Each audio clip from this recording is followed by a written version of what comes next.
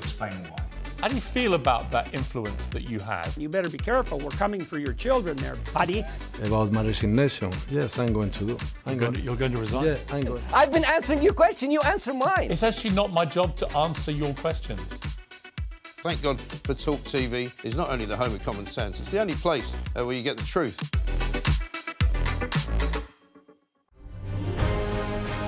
On TV, on radio, and on your smartphone. This is Talk TV.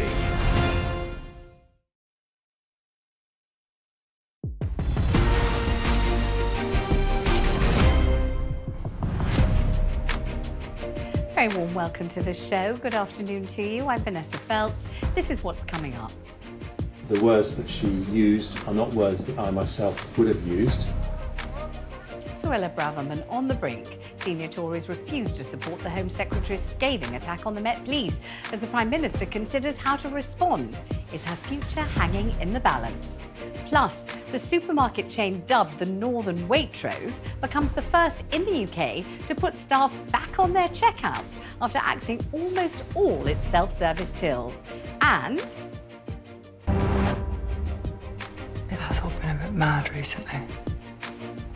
Just a week to go until the latest season of The Crown hits our TV screens, we'll be speaking to one of the only journalists in the country who's had a sneak peek. Give me a ring on 0344 499 1000, email Vanessa Feltz at talk.tv, tweet me at talktv, or find me on Instagram at Vanessa Feltz Official. Coming up, are Suella Braverman's days as Home Secretary numbered? First of all, though, let's have the news headlines with Zora Suleiman. Thanks, Vanessa. Good afternoon. London's Met Police have confirmed more than 2,000 officers will be deployed to police this weekend's Armistice and Remembrance Day events. It comes as a political row has erupted over comments made by the Home Secretary, Suella Braverman, who slated the police for allowing pro Palestinian demos to go ahead this weekend. There have been calls for the Prime Minister to sack her, but Paul Harris, the editor of the Jewish Telegraph, has told Talk TV Suella is in the right. I would hate to imagine this is so, but uh, I can't disagree with some of what Suella Braverman has been saying. And I think the Jewish community is delighted to have a Home Secretary of this strength behind it, uh, somebody who's unwavering in her support for the community's right to protest or to, to hold vigils on behalf of Israel and protest about what they're seeing. Meanwhile, counter-terror police are investigating a deep fake video of London's mayor about Remembrance Sunday. Artificial intelligence has been used to create the video falsely claiming Remembrance Sunday should be moved to make room for pro-Palestinian marches.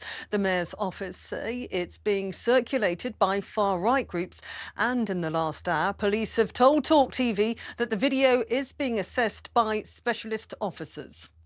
Well, there have been reports of intense clashes and open fire at Al Shifa Hospital in Gaza. Thousands of people are fleeing following explosions nearby as Israeli soldiers continue moving in.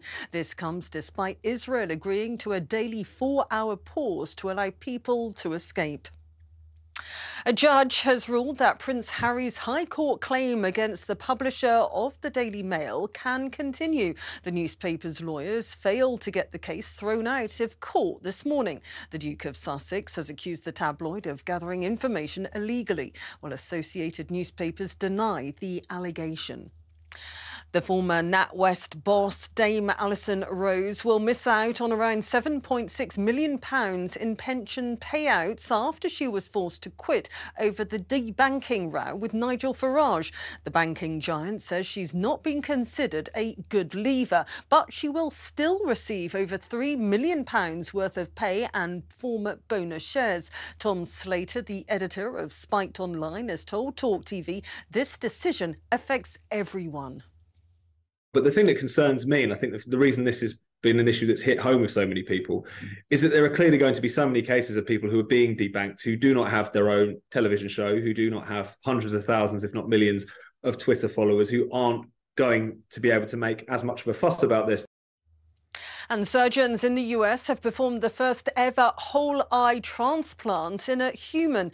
Aaron James, who survived a high voltage electrical accident, underwent 21 hours of surgery that replaced half of his face. And although he hasn't regained sight in the new eye yet, doctors say it's shown important signs of health in blood vessels and the retina.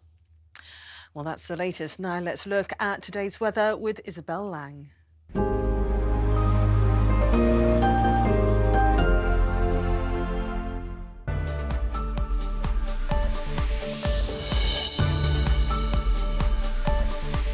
Times Radio sponsors Talk TV weather. Hello again. It's not particularly warm outside, but at least it is mostly fine. Uh, so not too bad an end to the week. But my word, it started off wet this morning across the south with gusts of 60 miles an hour for parts of Devon and Cornwall. Some really heavy, thundery rain too. But that's now slid away to the southeast and a few showers will be draped around northern coast, but otherwise plenty of sunshine inland to end the day, so not too bad through the afternoon and evening, although as I said, not particularly warm with temperatures of say 6 to 10 degrees. Now, as we head through this evening, yes, quite fresh out there in the northerly breeze. Still a fair few showers as well. Quite a cluster running down through Wales into the northwest Midlands, also across northern Scotland. But I think probably from about midnight onwards, they will tend to fade. And for many, it'll be dry tonight. Some patchy clouds still, but uh, I think there will be clear enough weather to allow temperatures to dip to about two to four degrees in the countryside. So that really does mean quite a chilly start to Saturday. But a lot of sunshine on offer tomorrow. A really decent day to get out and about and enjoy the autumn colours. Fine with sunny skies, just the odd shower near the North Sea coast. Later on, though, cloud will tend to come into the south. Temperatures highest in the southwest.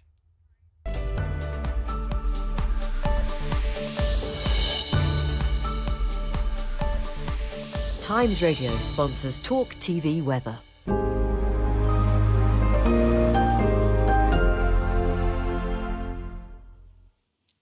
Many thanks to Zora and Isobel. Let's move straight to our top story. The Home Secretary's future is hanging in the balance as the Prime Minister considers how to respond to her article accusing police of double standards over pro Palestine protests. Suella Braverman said Met officers play favourites towards left wing activists in a scathing piece in The Times yesterday, which was not cleared by her bosses at number 10. It's the latest in a string of controversial comments from Braverman, sparking frustration among Conservative MPs and triggering calls for her to get the sack. Senior cabinet ministers have been distancing themselves from her opinions, including the Chancellor, Jeremy Hunt. Well, as many other cabinet ministers have said, uh, the words that she used are not words that I myself would have used, but I have a productive relationship with her as a colleague, and I've always given her the money that she needs uh, to fund the police, bring down crime, and to fund the immigration and asylum system. Would you get away with doing what she's done? Well, the Prime Minister said that he has full confidence in her, and I have nothing further to add. Joining me in the studio now, Gary Mond from the National Jewish Assembly. Hello, Gary. Nick Maynard, a consultant surgeon who's been visiting Gaza for 15 years. Nick will be attending a vigil tonight outside Downing Street for colleagues in Gaza. Thank you for coming. And we're also joined by Hugo Rifkin, a columnist at The Times. Um, let's start with Hugo because he's the professional journalist amongst, amongst us. Um, Hugo, this is a puzzling, if not baffling, situation, isn't it? What is going on? We're informed by so many insiders at Downing Street that Suella is for the chop, only not quite yet, it seems. What a strange situation. So she wrote this article, uh, effectively calling on the police to crack down on on the march. Uh, she did submit it to Downing Street beforehand, but they recommended this. They told her to change it, and then she didn't do so. So it's not signed off by Downing Street, but she published it anyway. You've got a large chunk of the cabinet saying that she shouldn't have said it, and yet you've also got the prime minister saying he has full confidence in her. It seems like a dreadful mess. It also seems like she's um uh, she's guilty of stirring stuff up and not necessarily you know taking responsibility for for the, for the impact her words could have. She has the power to tell the police to ban a march. Uh, but she wants the police to ask her, to ask her, to ask them to ban the march. It's a terrible mess. I mean, one of the things we don't understand is whether she is deliberately doing this because she's angling for a sacking, because she wants to distance herself from Rishi Sunak, because then it all becomes quite difficult to work out. Because what? Because she wants to be leader of the opposition in the future? That seems rather strange. And also, why is Rishi Sunak making a point of saying, uh, you know, she has my endorsement or whatever it is he said, while at the same time people are suggesting, contemplating giving her the axe or the big elbow as quickly as possible. Why? What is all this duplicity and obfuscation about? Would you say? I know you're only theorising here, but what do you reckon's going on?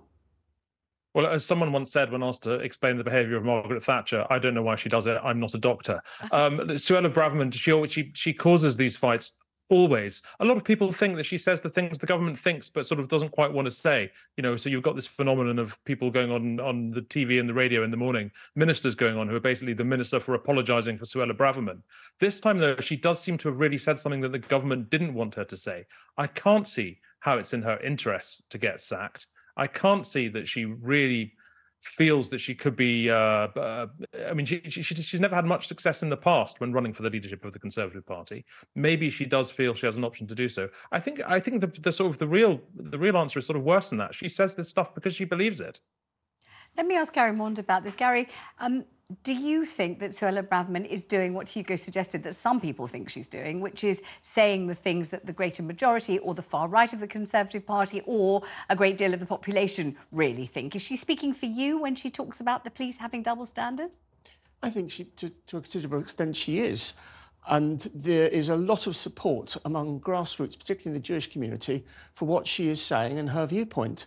We actually had a meeting with her um, about 10 days ago, a number of the senior figures in the Jewish community, and she listened to what we had to say.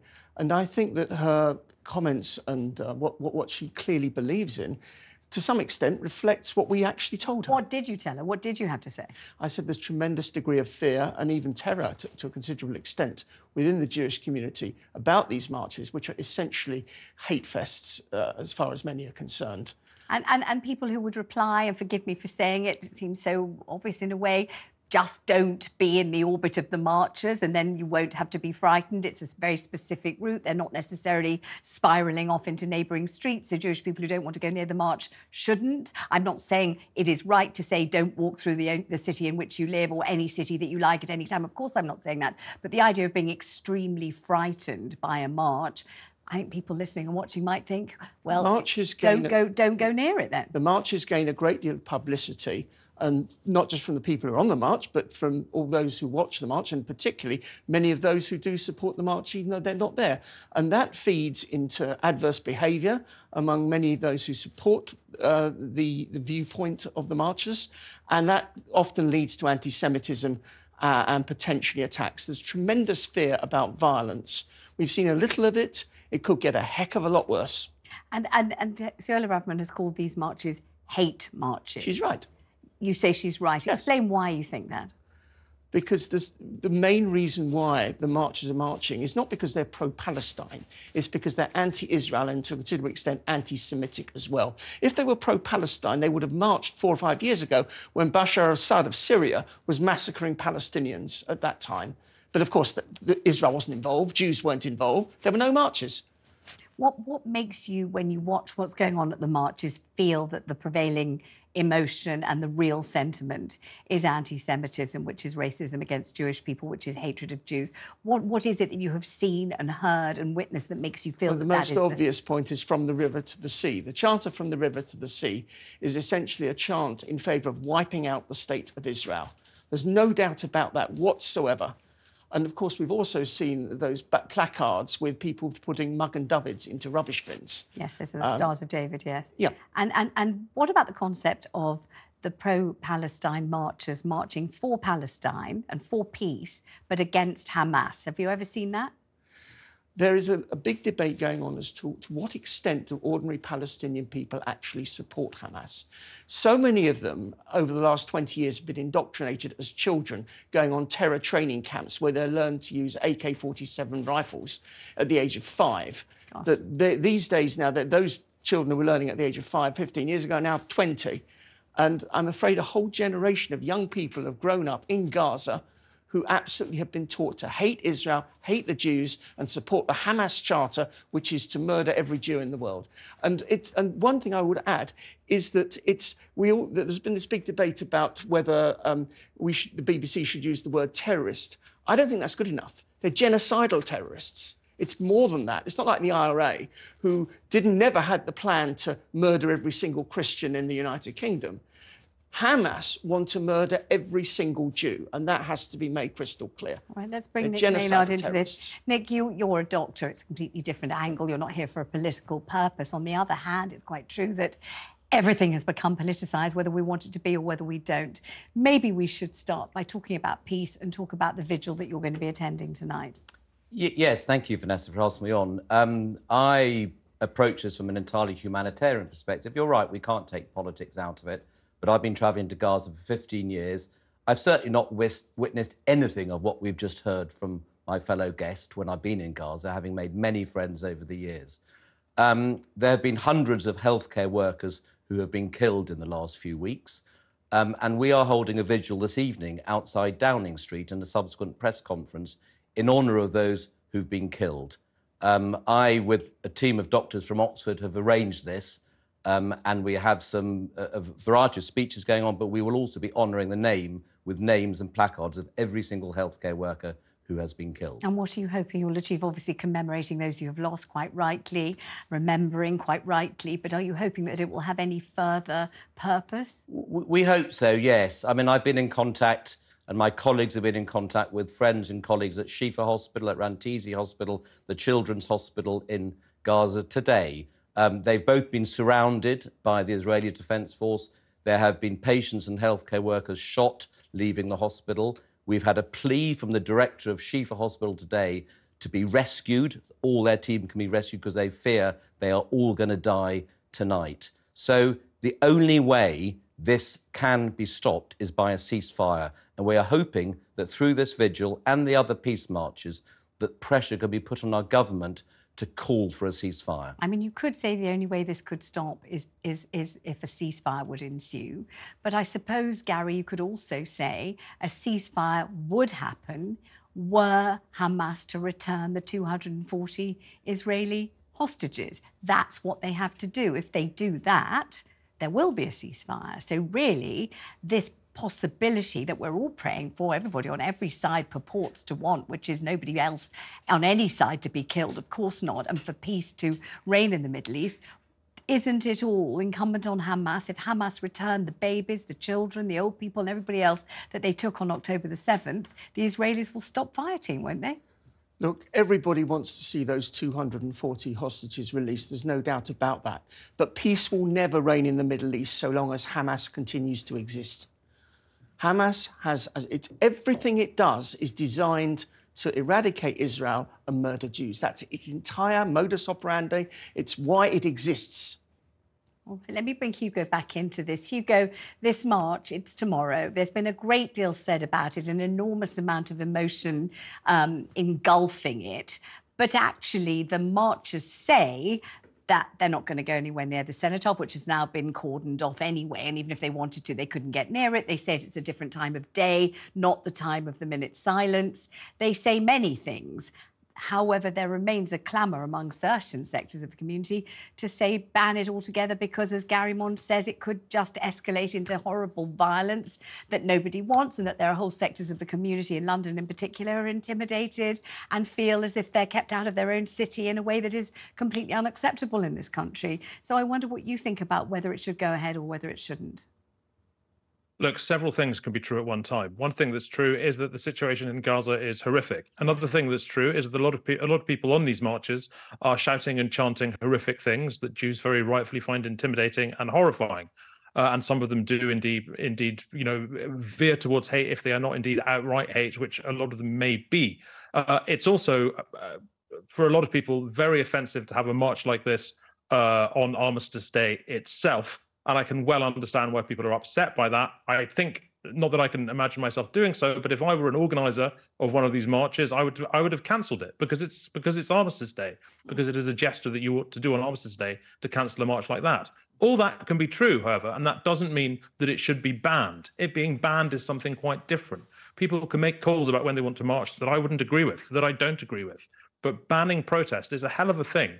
Uh, and the, the, Home Secretary is not banning this protest. She's asking the police to do the job for her, to sort of shut it down without quite banning it. And I think that's just a dangerous situation. We shouldn't be talking up. We shouldn't be talking up tensions when we could be talking down tensions. Right, um, Gary, do you agree that, that banning it is, is is worse than allowing it to go ahead? I think all marches, not just relating to Israel, should be banned on Armistice Day and Remembrance Sunday. It's out of respect for the Britons who lost their lives in defending the freedoms that we have today. Do you realise that in 1939, Britain was the only one of the three Allied powers who actually declared war on Nazi Germany, uh, whereas the Soviets and the Americans only came in because they were attacked? And the Jewish community in this country have the greatest of respect for those who lost their lives defending British freedoms. And as you know, in synagogues every, every Shabbat, mm. there is a prayer for the royal family. Yeah. Yes, of course I do, absolutely. And a prayer for peace as well. Um, Nick, do you think, I mean, I know you're not political, but you are a human being and you do have a view, obviously. Do you think that this march tomorrow should go ahead? Do you think it's disrespectful and also, you know, potentially some kind of horrible catalyst for violence and hatred, which is what it's purporting not to be and supposed not to be? Uh, well, my whole family is going on the march, and I know many people who are planning to do so. Uh-huh. Uh, I don't think it's disrespectful. Of course, all the people I've spoken to are desperately keen for a peaceful march with no hate whatsoever. And many people going on the march will actually think it's entirely appropriate on a day when they are celebrating the downing of arms and people are calling for a ceasefire in Gaza. So I don't think it's disrespectful. And I know those of my friends and family who are going on this march intend no disrespect at all. But if you look at the footage of the other marches, I don't know if you've attended them or not, but if you see the the atmosphere, the shouting, the, the that you know, the yelling, the kind of uh, intimidating kind of nature, not of everybody, of course, but of some of the marchers. Does that make you less inclined to be part of well, it? Or, or, or, what, what will you do if you happen to be marching next to a faction um, singing or waving banners saying from the river to the sea? Well, I mean, I won't be marching because I'm on call tomorrow in right. Oxford, but I've been on several marches in Oxford. I haven't seen that, although I have seen recordings of that happening. Um, I abhor that sort of behaviour and I sincerely hope it won't happen. But I do know that the vast majority of people are there with peaceful intent, showing no disrespect to, to, to, to, those celebrating the downing of arms all those years ago. Let me just finish with Hugo Rifkin. Hugo, what's being suggested to me by, I don't know what you would call them, tittle tattles or moles in the newsroom, that's all I can say. So they don't have absolute authority, but they may have a little insight, is that Rishi Sunak is waiting till after Wednesday's Rwanda verdict to decide whether to fire Suella Braverman or not. Now, I don't know if you give any heft or weight to that suggestion or whether you think, think it's pure fiction. What do you think? Uh, I think it's it's perfectly possible. I mean, look. Rishi Sunak appointed Suella Braverman. She wasn't a different person when he appointed her. He sort of knew what he was getting. It's it seems like such a long time ago that Rishi Sunak became prime minister, but when he did, right from the off, lots of people uh, sort of raised their eyebrows in alarm that Suella Braverman was an integral part of his cabinet. Remember, she'd resigned I can't remember exactly, but sort of several times in the few days beforehand in various different ways. So th- there's always been a crunch coming with Suella Braverman and Rishi Sunak. And not even because they disagree politically, just because she says things like this, she does things like this, she causes controversy, she causes fights. So no, I would be very surprised if she's still Home Secretary uh, at, the, at the next at the next election. Uh, and if she makes it to the end of next week, well, I'd be a bit surprised too. All right, I need to ask you all the same question. Coming up on the programme, I have as my guest, not straight away, but later on in the programme, uh, the ambassador from Lebanon. So I thought I'd ask you each what you would like me to ask him on your behalf. I just thought that might help us out a bit. Hugo, what, what would you have me ask the ambassador from Lebanon, the Lebanese ambassador? Gosh, um, well, I'd, i guess I'd ask him what leverage he has over Hezbollah, um, which I'd imagine isn't a huge amount But uh, I mean, I, I, sometimes feel that the, the, authorities in Lebanon are, are, almost as worried about Hezbollah as the Israelis are. So it'd be I think nice he might be coming on, on to that. say that. We'll see. I think he might be coming on to express something of that kind. Uh, Gary Mond, what would you ask the ambassador? Broadly, almost the same question. Yeah. He's got to get Hezbollah under control. In fact, he needs to close down Hezbollah if he can, and he should ask for outside support and outside help to achieve that aim. Hezbollah needs to be eradicated just as much as Hamas needs to be eradicated. But it will be harder, won't it? Because Hezbollah it will be harder. and much better. It will armed. be harder, certainly. But the world needs to get rid of organisations like Hezbollah. And Nick, if you had a message for the Lebanese ambassador, I'm sure you've never been asked that before. I'm not always in this position. I thought I'd ask you. What and I'm the third one to be asked. Yeah. Um, uh, how much are you engaging with European countries and the States to have a widespread um, uh, uh, desire to try and get peace out there. Thank you all very much indeed. Thank you for joining me on the programme. This is what's coming up after the break. Former NatWest boss Dame Alison Rose loses out on a massive payout following the Nigel Farage banking row. I'm Vanessa Feltz and you're with Talk on TV, radio, online and on your smart speaker.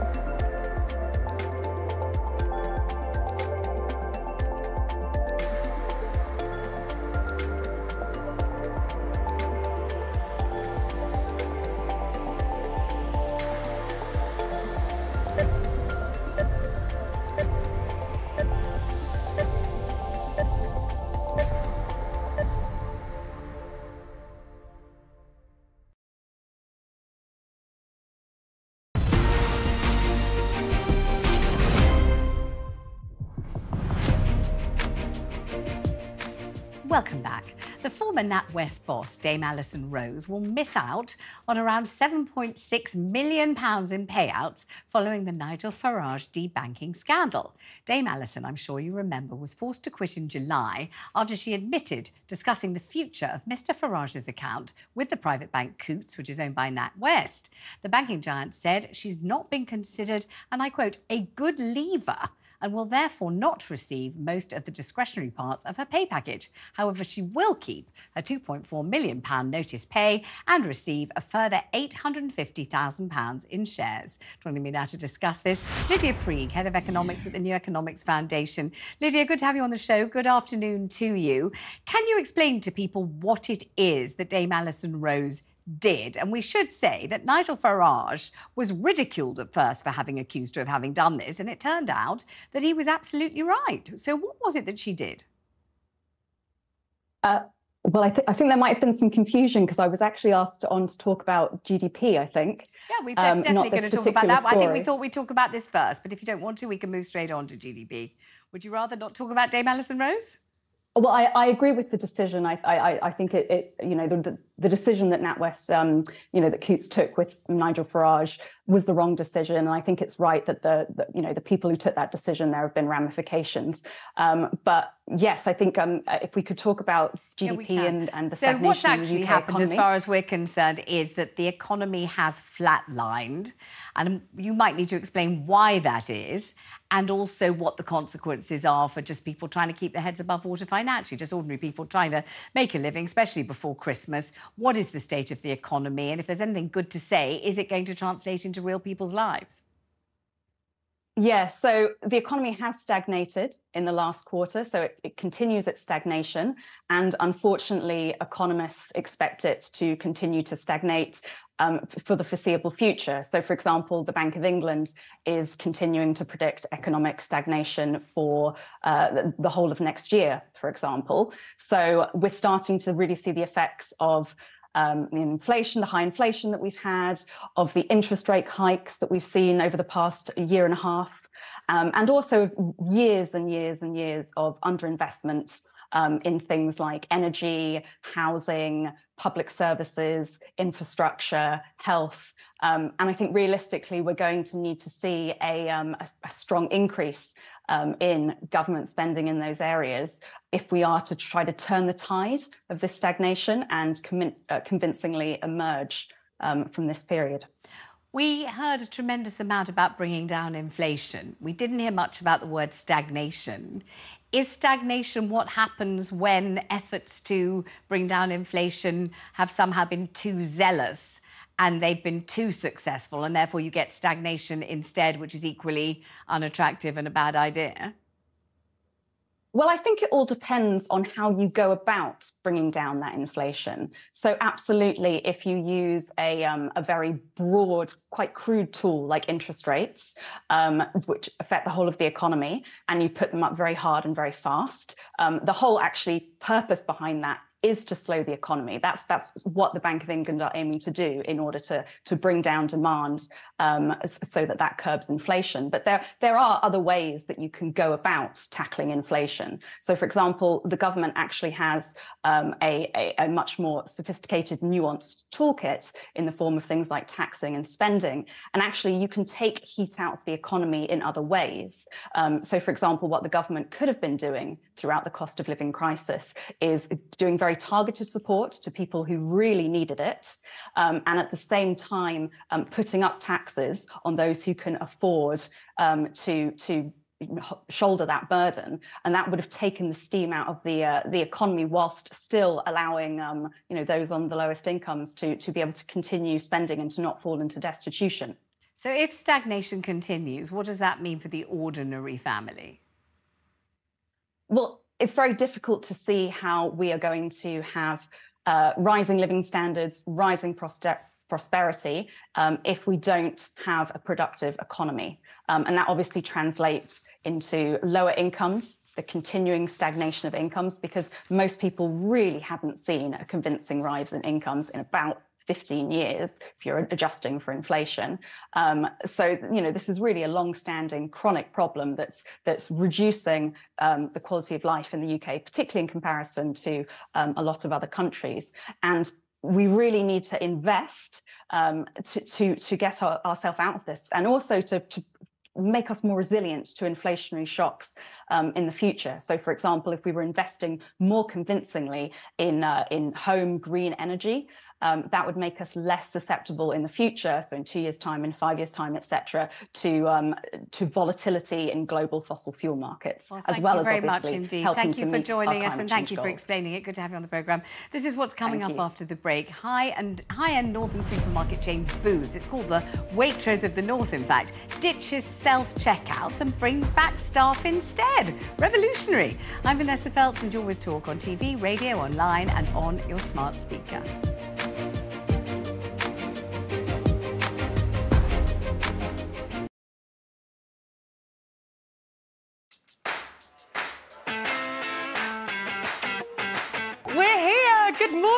Everybody.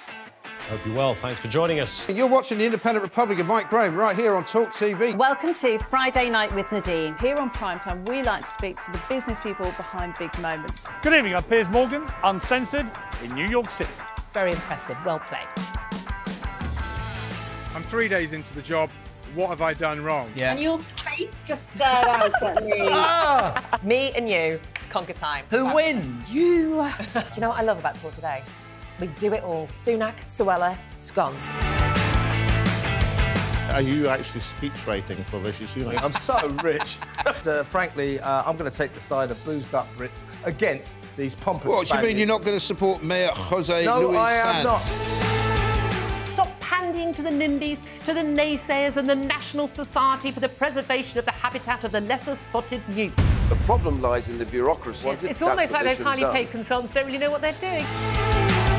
The first thing they teach you in weather school is never confuse dog walkers with doggers. Twitter, you sons of. Can you please reinstate my account? Yeah, Thank you. there's a threat that you'd be worried about. So are you saying that you're being overwhelmed, that you're inundated? We are really working hard for you. We're just asking patients to be patient with us. Are we only going to be trusting sources like Meta and Google and Facebook and X, uh, formerly known as Twitter? Where is our where is our unbiased news going to come from? Welcome to the talk. It's really great to be back. My little darlings. Mm. Kids think all they have to do is stay at home, be silly, mm-hmm. take pictures of everything. Just shut down TikTok then, yeah? Oh, Problem solved. Yeah. Problem solved. There you go. Who's fit as a butcher's dog? Him. Oh right, but, but he's now middle class. three of us here, Tess. I nearly have empathy when I'm speaking to them. I know now you're probably going to boot me off the show after this. No, Uh, Kevin O'Sullivan is the worst presenter on Talk TV, sitting on his fat ass talking for a living.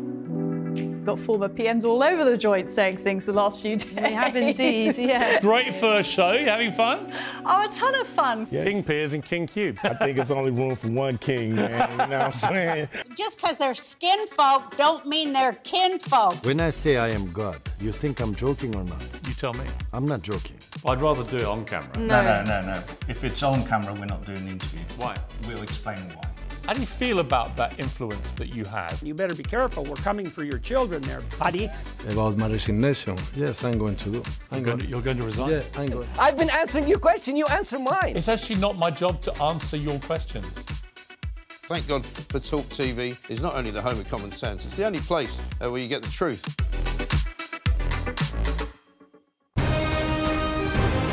This is Talk TV.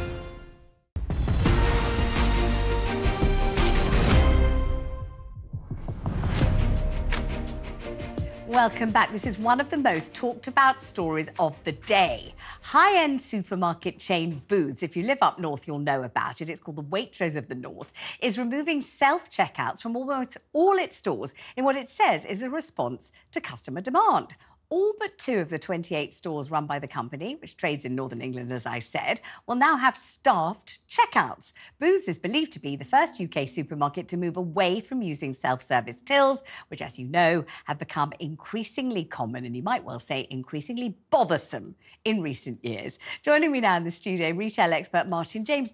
Martin, this has been huge, this story. People have gone crazy for it. Uh, well, if ever a story has really tapped into some of the things that drive people mad in the UK, Yeah. It is this one. People hate self-service machines uh, for a variety of reasons, you know, from the sublime to the ridiculous. So this is a very canny move by Booths. I mean, self-service machines, I believe, were supposed to a save money on on staff, but b save time. So you weren't supposed to have to queue for somebody to put your stuff through. You could just do it yourself, and you could do it quickly, and it would just be a fantastic kind of time and motion poem of joy, and everybody would love it. so explain to me why it's all gone so terribly wrong, and why they're so hated those machines. I have five words for you, Vanessa. Yeah, I know what you're going to say. Unexpected item in bagging area. I know. What is Uh, that about? Absolutely. It drives people at the low level swearing you hear at the machines. Yes. But also, you know, they get increasingly worse. Now, uh, for example, my local Sainsbury's Mm. has just made even smaller self checkouts. So you have to do this weird kind of Jenga thing, balancing your shopping onto the, the area where it's weighing everything. You can't put bags on there. But also, in, you know, to make some serious points, Mhm. um, there are accessibility issues. People with disabilities, older people, um, people who might need more support are finding them very difficult to use. And of course, the irony is, as anyone who's used one recently will know, you still need people to come and deal with the flashing red light. Every lights. second, though. It's not just occasionally, it's all the time. There needs to be almost one human per machine hovering permanently over it to come and rectify whatever, you know, the beeps and the clanks and when it goes wrong, an unexpected item in the bag error, and, and the thing about the bags and people who don't quite know how to work it, people who do know and are furious, fights breaking out, and also, of course, an inordinate amount of shoplifting because people sometimes seem to think that if they're checking it out themselves, they'll definitely pay for the chicken, but they won't pay for a bag of sweets to go with it and a couple of uh, cold drinks, and they'll just, you know, siphon those into the bag. And you do, if you happen to bother to lean over and have a look what anyone else is doing, you do see that happening. Yes, absolutely. There is no doubt. All of the retail surveys have shown that actually it's these particular automated tills that are the reason for the bulk of shoplifting and, and how people get away with it. Yes. Now, what booths are doing is very, very craftily latching onto that public feeling. And actually, I, I suspect realistically, you and I have talked about this quite a bit over the years, Yeah. that ultimately we're going to see more humans coming back into the workplace. There's a real pushback against AI and impersonal service. Mm. And actually, we need to have people to actually talk to when things go wrong. So they've got very much ahead of the curve. And for once, I would hope that the other supermarkets will recognise that this is a popular trend and follow suit. I would love to know which genius at Booths came up with this, wouldn't you? Was it somebody in the boardroom? Was it a marketing expert? Was it somebody who actually works on the till saying my life is hell because every single second I have to call over to somebody who's meant to be doing self-service and the whole thing keeps packing up. Every second I'm rushing over and going ping with the whatnot, looking at the thing. And I mean, we've all we've all witnessed it, we've all been caught up in it.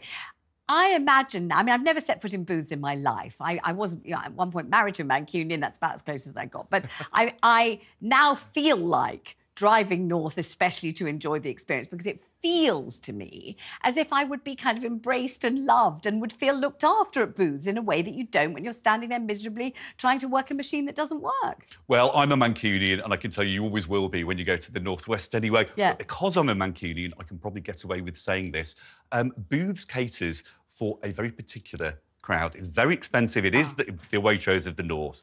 And that crowd tend to be a little bit more vocal about the things that they're unhappy with. Ah. So there is quite a bit of ultimately listening to customers who can vote with their feet. So it's a canny move, Mm. but you better believe that this very vocal customer base will have had quite a bit to say about automated checking desks when, in effect, they're paying little bit more for their goods. Yes, and they want to feel a little bit looked after. So when you say there's a kind of feeling against AI and a kind of kickback and a pushback for actual human beings to be there actually helping you with some kind of idiosyncrasy, some kind of humanity, bit of unpredictability and a little bit of care and attention, you might say that for lots of us, we have thought that AI's barely got started and is going to be stampeding through, not that there's already a pushback against it.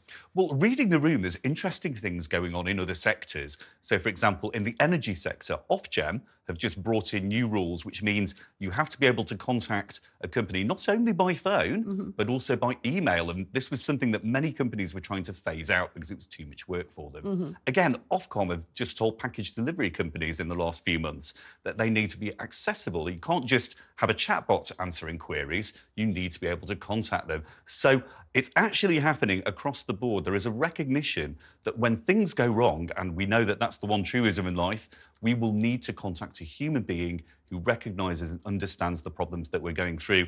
I'm not a Luddite. I'm all for technology to speed things up and make Yes, things easier. if it works. Yes, but not one or the other. And I think there's an argument for having an automated checkout desk or two if you really want to use them. Mm-hmm. But ultimately, this is about customer service and keeping customers loyal. Okay, how long till the greater bulk of supermarkets that are offering greater value than Booths, although not meant necessarily the same service, but how long till they think, ah, okay, because there's such a stampede of goodwill towards Booths that Booths is really cashing in, we better do the same kind of thing and it goes filtering through. I think we're going to see a half and half thing in the next six months. One of the supermarkets will trial in a couple of its shops a half and half version. If that works and they go for it, all of the other ones will fall into line. So I would say to all of the people watching, now really is the time to vote with your feet and go to a supermarket that cares about you. Okay, I'm going to ask you, as the retail expert, your take on the various Christmas ads that we've all now seen. Have you seen them for yourself yet? I have indeed, yes. I've been working Thought you, would, thought you would. Thought you would. what do you reckon? So I love something a little bit different. You know, I'm, I hate sitting around and moaning about things. And I have to say, I do love the inventiveness of John Lewis, but also as well, I'm a massive fan of The Little Shop of Horrors. Yeah. And so a big kind of uh, the only thing the planting flytrap that you can love. If only it was singing, I'd be happy. well, you've got Bocelli singing. Well, yes, I know, but uh, if only it could do kind of like Levi Stubbs from the Four Tops did Oh, it in the movie, so? I'd be Yeah, yeah. thrilled. But then you, someone can always play it over the top. Okay, final question. Something we haven't seen for, I think, a very long time. And that's lots of positive, favourable headlines about Marks and Spencer and Marks and Spencer fashion. And for years, we've had experts saying, well, they just have missed the mark. They haven't quite got it. Look at Zara, look at Primark. Marks and Spencer doesn't know who it is. It's failing its own kind of, you know, backbone of customers, but it's not really hooking in any others. And now we're seeing a very different kind of press about Marks and Spencer. What has happened? I think it's a mix of two things. I think we have a very terrible British tendency to kick things when they're down. Mhm. And it's very easy to point the finger and go, look at this, this is out of date. But if that's what the customers are buying, who is still there, then they have to sell that. But what Marks and Spencers have done very cannily is they've looked at the market, they've looked at influencers, they've looked at how younger people buy, and they know that people might buy a single statement piece, but they're going to want wardrobe essentials. And it's that cut, that durability, um, and that practicality that Marks and Spencers have delivered. And that is very, very canny business. And sense. is there a particular member of staff or designer or advertising person they've used that has made this happen? I was reading about somebody who'd started as a shelf stacker, I believe. Well, they brought up lots of people within the organisation. Again, you know, very craftily. They don't have one kind of overall control. of you go into Marks and Spencers, you will see different sections. You've got budget, you've got top of the range, all kind of euphemistically worded, all with different teams working on them. Yeah. They're trying a range of things to see what works. And now finally, they're back in that position where they're doing what they always did best, which is providing the things that we actually Classics, wear. the staples. Exactly, to go alongside the things that you've bought to treat yourself. Thank you so much. Always a pleasure to have you in the studio. Coming up after the break, the final season of The Crown is nearly here. I'll be speaking to a journalist who has already seen it, and there are very few of those. I'm Vanessa Feltz, and you're with Talk on TV, radio, online, and on your smart speaker.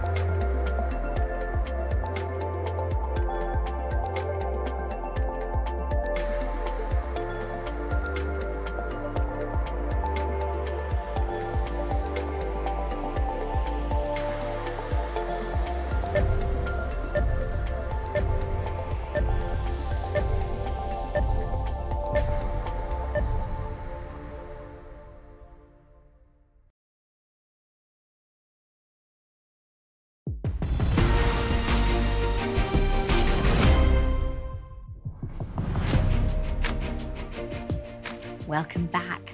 Audiences have been enthralled and divided by royal drama The Crown since it debuted on our screens seven years ago. The first half of the final series will be released next week, unfortunately, marking the beginning of the end for the hit show. The latest episodes will portray the fallout from Charles and Diana's divorce and, of course, her tragic death as well. Let's have a look. All one wants is for that girl to find peace.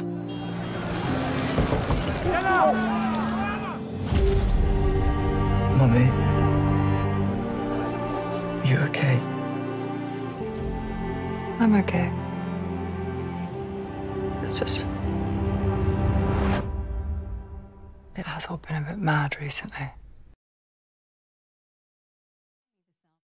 Is royal historian and author Tessa Dunlop, who's one of only two journalists to have had a sneak preview of the new series. My gosh, what a privileged position you found yourself in. Yes, it was the most extraordinary experience. It was just me and one other. And we were allowed to watch the first four episodes because this final series has been split in two. And there's two different actors for William and two for Harry. And the end of this first four is Diana's death and how that is dealt with. So they're kind of self contained, if you like. And it was an incredibly intense three or so hours mm. spent with a man considerably younger than me because halfway through I realised he was in mere nappies, darling, when Diana died. Whereas for me, as a daughter of Diana with her Ladybird book onwards, this was the most seismic moment in my young adult life, her death.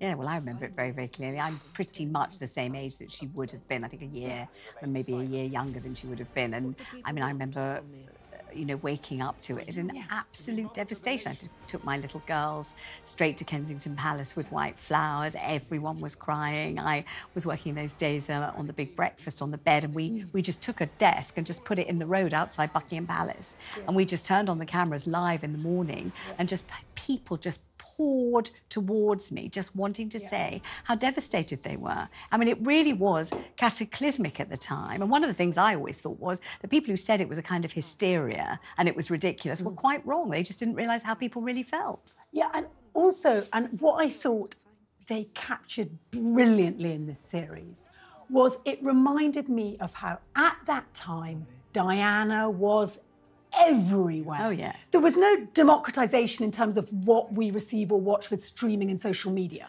She was front and center in all the newses, in all the newsstands, in every newspaper, in every magazine. So, of course, when she died, it literally felt like we were in free fall. Yes, it was absolutely shocking. And, Really, and, and people really felt shocking. they knew her. Lots Yes. of people had seen her at things. Lots of people felt that had they met her, she'd have been their best friend. Yes. People felt very sorry for her. People felt inspired by her because she was gorgeous and glamorous and beautiful and a lovely mother. I mean, everything was just so Everything. huge. So tell me about the program itself and how it feels watching the recreation of those days. Well, what's interesting is we know the story, Yeah. and yet still, and to my surprise, because I'm not a sentimentalist, I did find myself in floods of tears in the final episode of this first full block.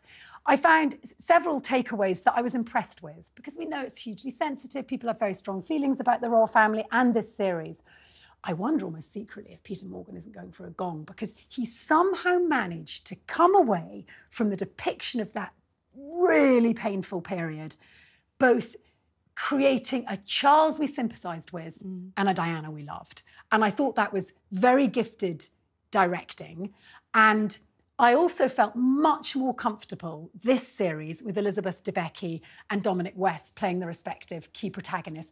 I think it's almost I've got used to them. You know, when you're first adjusting your eye, thinking that's not the right, and, but, but now I'm comfortable. And actually, I felt a bit like Diana came into herself in her 30s. So did Debicki. She is amazing and just brilliant costumes, the backdrop of Saint Tropez, this extraordinary love affair, the tension.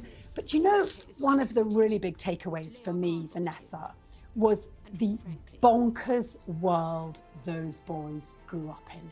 It is a miracle mm. they are as normal as they are, to Give be me an example. What did you see Well, that uh, was, was bonkers? Just being shuttled in private jets to private yachts in Saint Tropez, then returning to stay randomly with a, a nanny before being shoved up to icy Balmoral. One line, I'm not meant to give granular detail next, but I'm sure they won't mind, where Diana goes, Oh, Scotland, full of dead animals and rain, or some such, you know, and, and the juxtaposition of the two worlds, the sort of ebullient, over the top colour and craziness of Dodi Fayed and his moccasins and, and, and what might come, and the press, of course, preying on it all, and then tucked away in Balmoral with stags. And, and, and, how did you feel about Because obviously we feel very differently watching something we don't remember, something Yeah. that was history that didn't really apply to us, that we'd heard of, and you watch it and it's a bit like a costume drama, even though the people are real, you still watch it through a sort of veil of mists of time and everything else. But when it's people that we remember and we remember it, and also her children are still alive to watch it, of course, her ex-husband, her brother, her sisters, you know, her, her grandchildren. I mean, everybody's around to see this. Did you did you feel at all that it's too soon? I didn't because the story's so well known. But the other gift for this series is that we don't actually know what happened between Diana and Dodi. So you therefore are well aware that the directors entered into a fantasy realm. And You so were well aware. I was- lots of people watching will think it's a historical documentary, No, as most they have all the way through. Let me ask you about the ghost, because we've Yeah. heard lots of publicity about that there is the ghost of Diana. Is that what it's like, an actual ghost? Yeah, she she comes back and she has a chat with Charles and with How her late Majesty, that? the Queen. It, I mean, she wasn't sort of faded out. It was it, there. There was one actor talking to another actress. I was so wrapped up in my own the own my the own the part that I played at that time, consuming the press. And my own culpability, our own culpability. Why are we culpable? Because we all devoured her.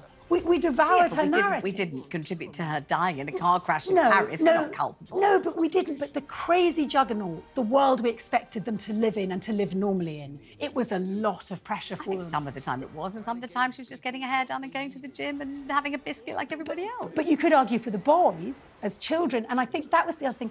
Harry is a very faint presence in this first four episodes, and what you take away is he, he didn't really have his mum so much. William was much older, was across the narrative. He's a much bigger protagonist, mm. and it almost helped me make sense of the kind of Sussex stuff that we've had churning out over the last 18 months. This is kind of Harry playing catch up almost. And bizarrely, I know The Crown is a fictionalized drama, but it helped me make sense of why he's almost come late to the party of grief. So really, you make it sound as if this is a must-watch, and we should Uh, definitely. watch well, I'm biased. Come on, I'm biased. But I, I, it was it was a it was a morning well worth spending Tessa alone. Dunlop, thank you so much. Coming up after the break, intense violence in Gaza as Israeli forces continue to battle Hamas terrorists. I'm Vanessa Feltz, and you're with Talk on TV, radio, online, and on your smart speaker.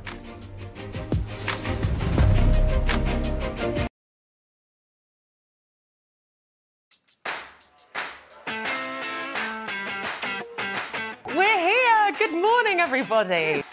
Hope you're well. Thanks for joining us. You're watching the Independent Republic of Mike Graham right here on Talk TV. Welcome to Friday Night with Nadine. Here on Primetime, we like to speak to the business people behind big moments. Good evening, I'm Piers Morgan, uncensored in New York City. Very impressive. Well played.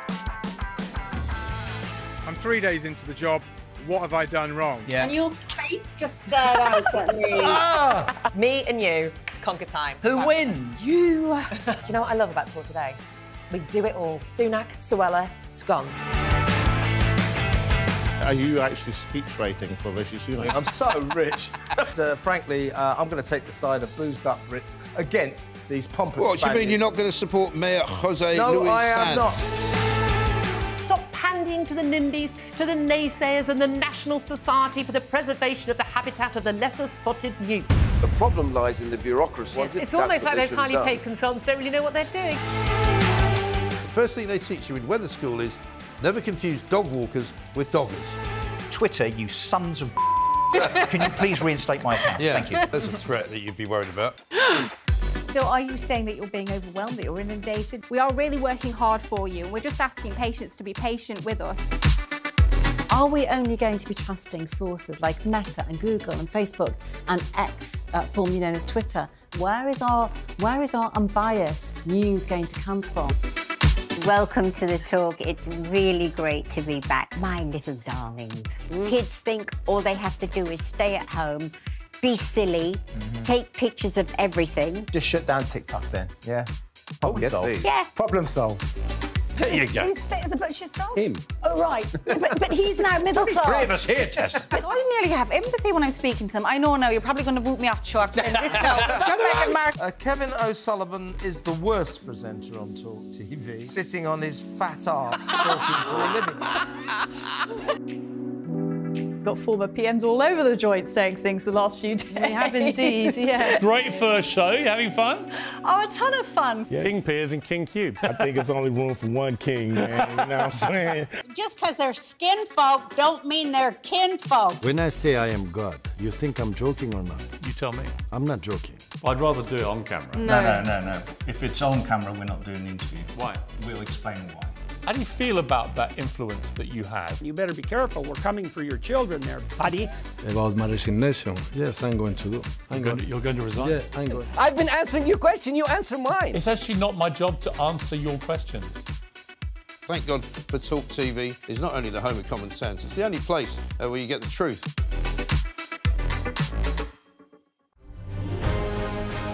On TV, on radio, and on your smartphone. This is Talk TV.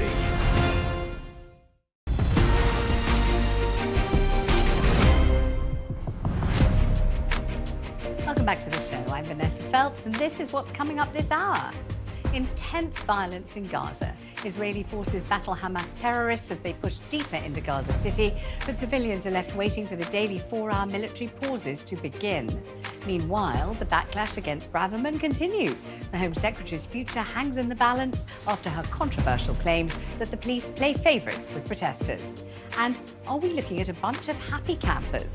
The full I'm a Celebrity lineup has been revealed, with Nigel Farage set to head into the jungle alongside Britney's sister and jockey Frankie Dettori. Give me a ring on 0344 499 1000. Email Vanessa Feltz at talk.tv. Tweet me at talktv or find me on Instagram at Vanessa Feltz Official. Will Suella Braverman last a week in office? We'll debate that imminently. First, though, let's have the news headlines with Zora Suleiman. Thanks, Vanessa. Good afternoon. London's Met Police say they're going to put more than 2,000 officers on the streets to police this weekend's Armistice and Remembrance Day events. It comes as a political row erupted over comments made by the Home Secretary, Suella Braverman, who slated the police for allowing pro Palestinian demos to go ahead this weekend. Well, there have been calls for the Prime Minister to sack her, but Paul Harris, the editor of the Jewish Telegraph, has told Talk TV Suella is in the right. I would hate to imagine this is so, but uh, I can't disagree with some of what Suella Braverman has been saying. And I think the Jewish community is delighted to have a Home Secretary of this strength behind it, uh, somebody who's unwavering in her support for the community's right to protest or to, to hold vigils on behalf of Israel and protest about what they're seeing. Meanwhile, counter-terror police are investigating a deep-fake video of London's mayor about Remembrance Sunday. Artificial intelligence has been used to create the video falsely claiming Remembrance Sunday should be moved to make room for pro-Palestinian marches. Well, the mayor's office say it's being circulated by far-right groups. And in the last few hours, police have told Talk TV that the video is being assessed by specialist officers. There have been reports of intense clashes and open fire at Al Shifa Hospital in Gaza. Thousands of people are fleeing following explosions nearby as Israeli soldiers continue moving in. This comes despite Israel agreeing to a daily four hour pause to allow people to escape. President Joe Biden will hold face to face talks with President Xi of China next week in an effort to reduce tensions between the rival superpowers.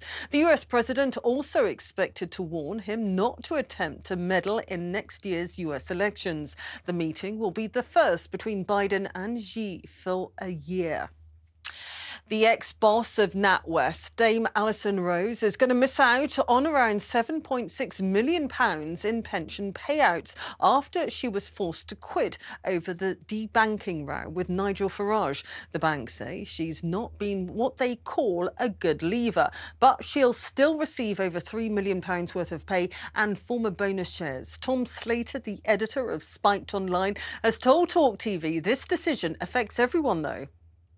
But the thing that concerns me, and I think the reason this has been an issue that's hit home with so many people, is that there are clearly going to be so many cases of people who are being debanked who do not have their own television show, who do not have hundreds of thousands, if not millions, of Twitter followers, who aren't going to be able to make as much of a fuss about this and the number of drivers who reported breakdowns because of potholes has hit a record high. The RAC says there's been a 46% increase compared to this time last year, the highest since records began in 2006. While Howard Cox from Fairfuel UK has told Talk TV the government needs a long term plan. What we're seeing here is a long term uh, lack of a, a proper road user strategic plan. Uh, it's never been one. With our cycle of four to five years of parliaments, etc., we need a 20 year plan for roads right across. Well, that's the latest. Now, the weather with Isobel Lang. Thank you. Thank you.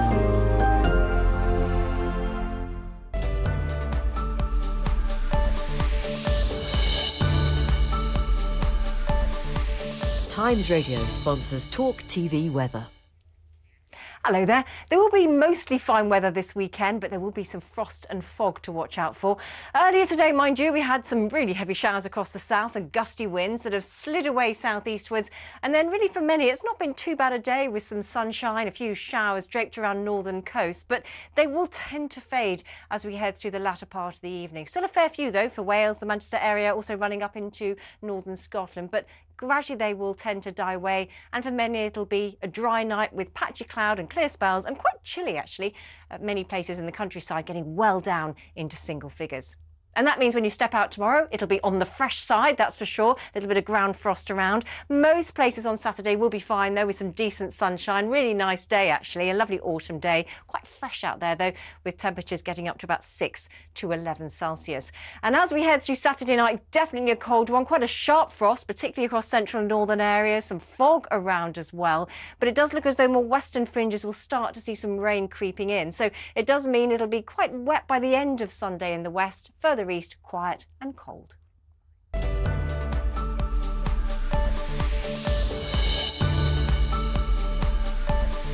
Times Radio sponsors Talk TV Weather.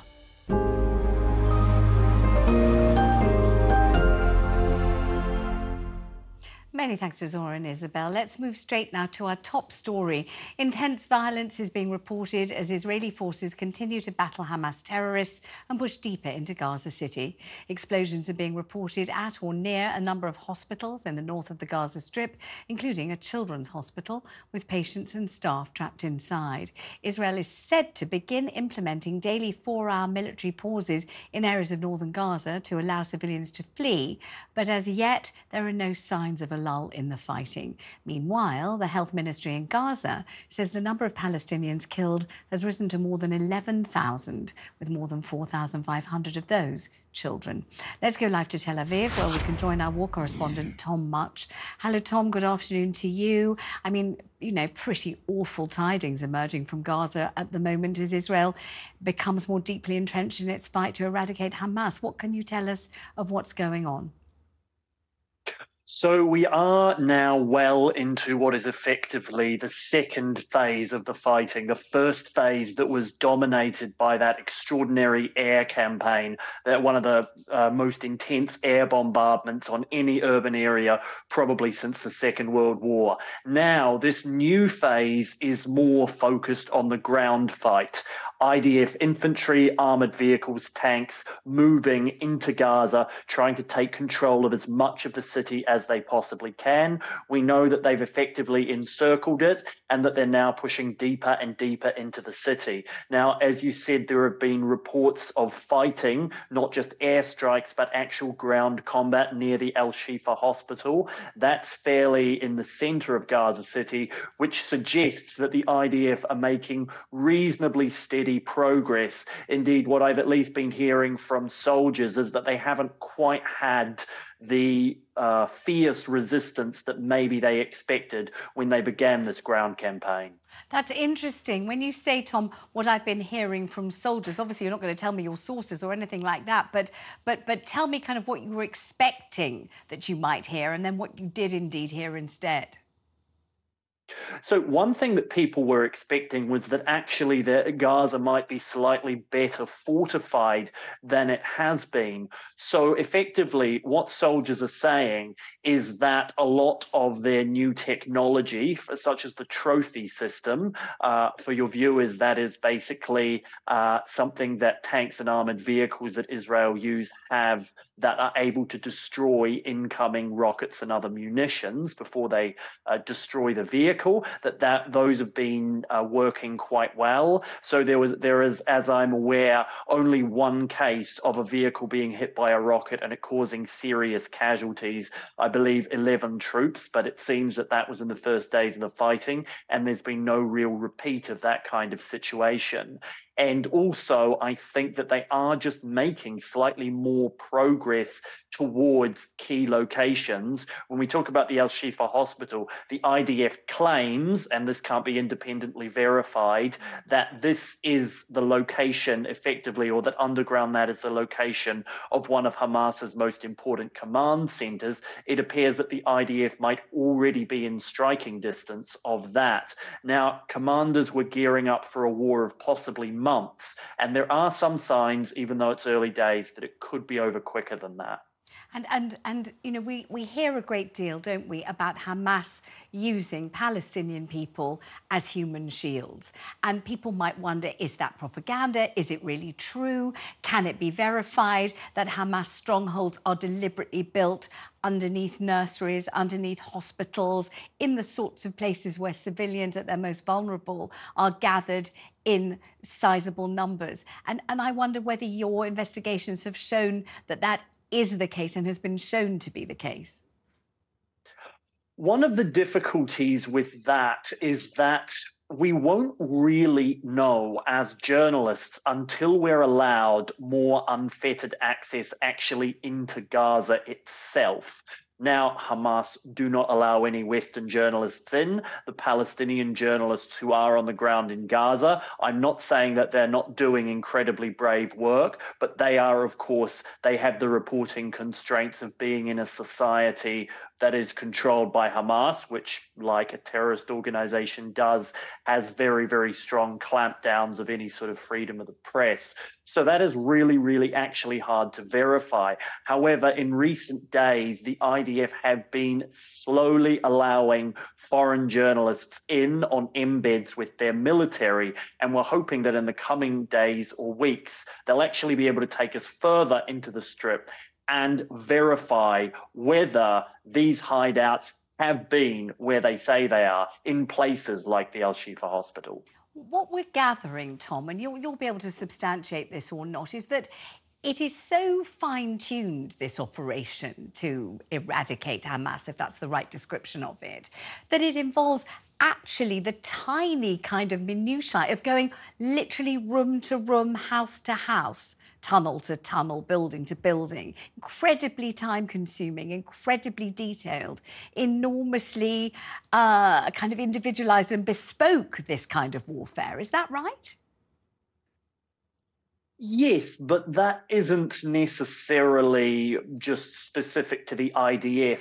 This is how urban campaigns work in general. So, for instance, the Russians, when they moved into a city like Bakhmut or, or Mariupol in Ukraine, they also, I mean, they had slightly different tactics. The, the uh, Israelis use a lot more air power to strike specific targets before they move their ground forces in. Russia instead effectively obliterates the surroundings with artillery, and then their ground troops move in. But that is what an ur- what urban warfare really, really looks like. It's a much grittier, normally much bloodier, much more time intensive, much more resource intensive campaign than a campaign to say take more open ground or to surround a city and besiege it and cut it off. And that is what the IDF really believe they have to do here is conduct one of these house to house, room to room operations in order to root out Hamas. And we'll see over the next weeks if their strategy is successful. And what of these humanitarian pauses? As far as we're aware, we haven't seen one of these yet. However, we're told they are going to happen. I don't know whether that's going to be daily or hourly, or if you have any more information about those. So, what has been suggested, and apparently a lot of this has come at the urging of the United States, it's interesting to see that the United States has been slightly changing its rhetoric from effectively giving Israel a free hand in the region to now openly saying, actually, we're concerned about the number of civilian casualties. We're concerned about whether the, an operation that's killing this many civilians is proportionate. I believe Antony Blinken said today that he was worried that too many civilians had been killed. And so, what the US has been putting pressure on one is to let more aid into Gaza from the Rafah crossing through Egypt. And the other is this idea of, I believe it's four hours a day of time during the middle of the day that Palestinian civilians will be able to move from the north of Gaza to the south of Gaza. Now, that's not entirely to safety. The south of Gaza has still been bombed as well, although not to the extent that the Hamas strongholds in the north have been bombed. And if I were to ask you, Tom, of the relevance or the role that Lebanon could play, or maybe is playing, in this conflict so far, what would you respond? So that's a very, very interesting question. The situation in Lebanon is very complicated. Why it's important is because it's the country on the northern border with Israel, and there is Hezbollah. Hezbollah is a militia that has extraordinary influence over politics and society, and also has tens of thousands of very well trained fighters. Many of them fought in urban warfare in the civil war in Syria, where they fought on the side of Bashar al Assad against the rebels. They also also have an extraordinarily strong rocket arsenal, much of it developed with the help of Iran. And should they choose that and to open a second front in the north, things could get extraordinarily bloody. Now, it's interesting actually that soldiers and commanders that I've spoken with are more worried about the prospect of Hezbollah joining the war than they are about the operation in Gaza, which they do believe will succeed no matter how much time it takes. Now, as of yet, there have been clashes on the border, artillery and anti tank rockets being fired from each side. Civilians have been killed on both sides of the border. I believe about 80 soldiers in total between IDF soldiers and Hezbollah militia fighters have been killed.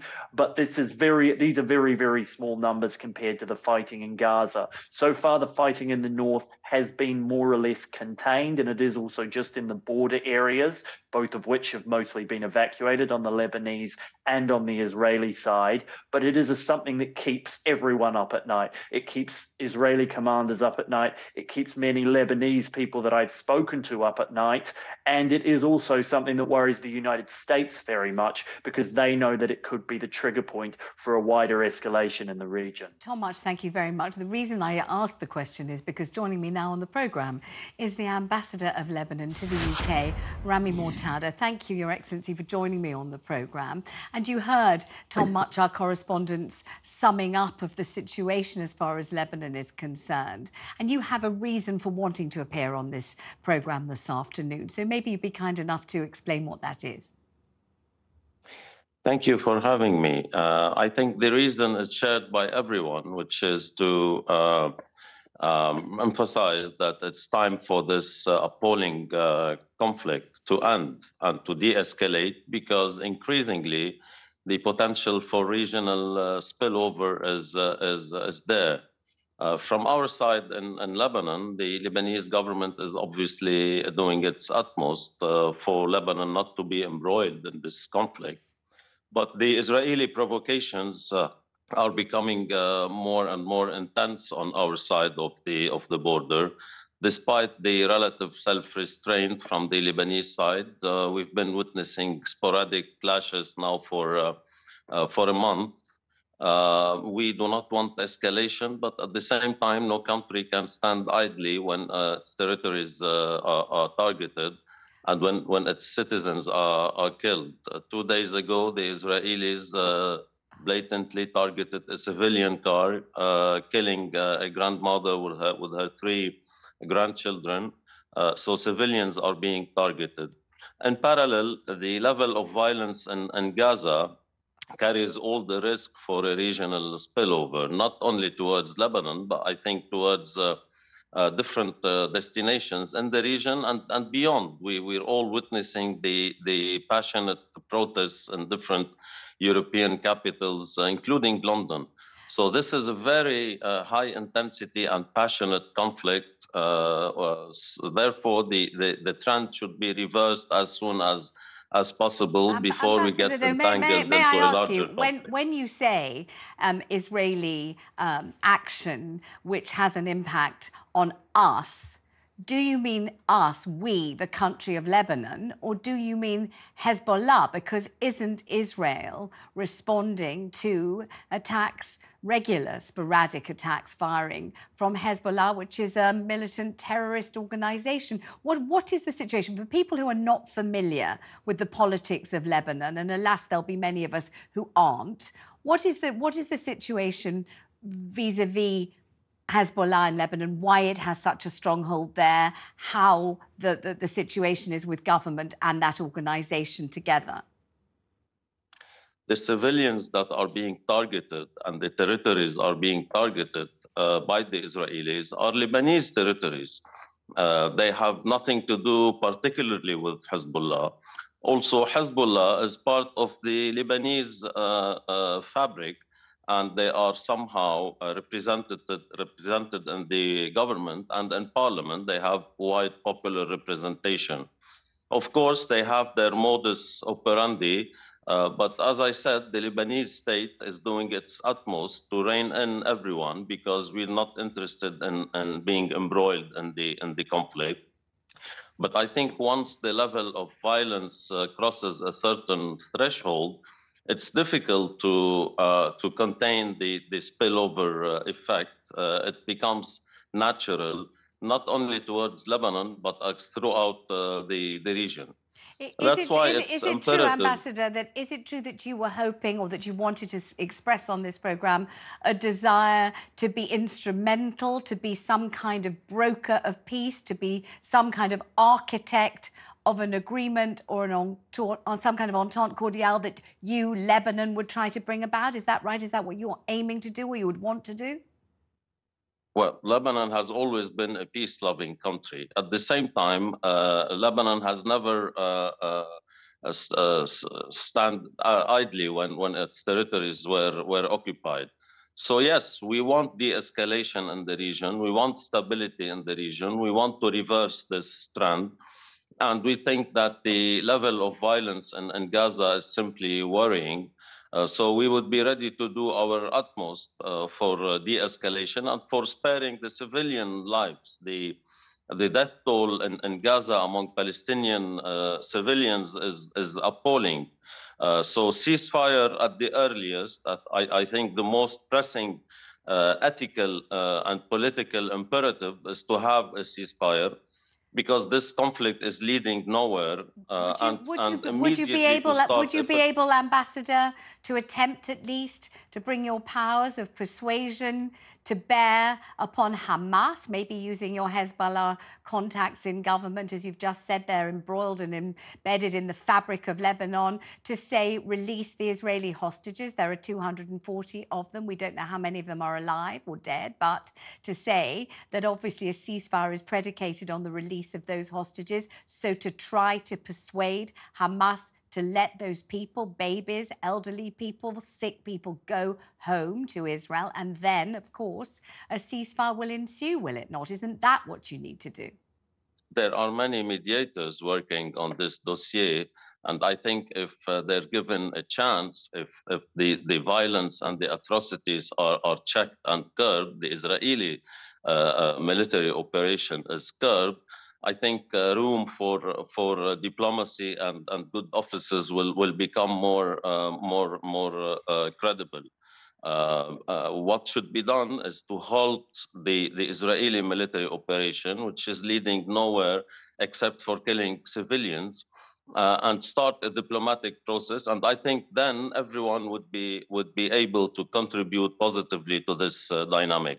But as long as warmongers are, are taking the decisions in, in Israel, there is no room for good offices and for, and for, uh, and for mediation. Did, did you use the word warmongers? Is that what you just said? Yes, that's what we see in the Israeli behavior. You, you it's don't, you don't, you don't, you don't see, uh, you don't see instead a response to an entirely unprovoked massacre on innocent people. You see warmongers. You don't see that the entire hideous conflagration of loss and death and wretchedness and misery was caused really by what happened on October the 7th. And that was not started by the Israelis and was nothing to do with the Israelis. It was inflicted upon the Israelis. Is that not what you see when you call well, Israelis no warmongers? No one condones what happened on October the, the, the 7th. How can you, how can you describe Israelis as warmongers, though? If they were Sorry? responding. How could you use the word warmongers when they were the responders and the innocent victims of a hideous massacre entirely unprovoked? How can you then call them warmongers for responding to something that was done to them, not by them? Uh, how do you describe killing more than 10,000 Palestinian civilians in, in, Gaza? Isn't that warmongering? Well, you would you would have heard the we president of the, you will have heard the president of the United killed. States. You will have heard our Prime Minister Rishi Sunak. You might even have heard our King talk about Israel's right to self-defense after being the victim of that kind of unprovoked attack. You will not hear them use the word warmongers in response to that. So, so let, let, so let me let me finish this right interview, which I'm very grateful to you for, for granting me. But by asking how will how will Lebanon proceed now? What are you going to try to do to help to engender the peace that you would like to see? Well, uh, we are uh, uh, checking in every everyone, and we we are doing our utmost not to be entangled into the, the conflict. But, but as I said, it needs cooperation from all stakeholders. When the level of violence is what it is in, in Gaza, uh, there is uh, there will be a moment where it be becomes very difficult to contain the conflict in its original theater of operation. Notwithstanding our effort, we really are not interested in, in, in uh, joining the, the war uh, we have enough problems in, in Lebanon. Uh, so we really hope that for the for the violent trend to be to be reversed. Here, here. And on Ambassador, thank you very much you indeed for me. giving us your time this afternoon. We appreciate it enormously. Thank you. Coming up after the break, Rishi Sunak is still deciding what to do with his Home Secretary as he calls for her to be fired. And those calls are, no, as calls for her to be fired, not from him though, are growing. I'm Vanessa Feltz and you're with Talk on TV, radio, online, and on your smart speaker.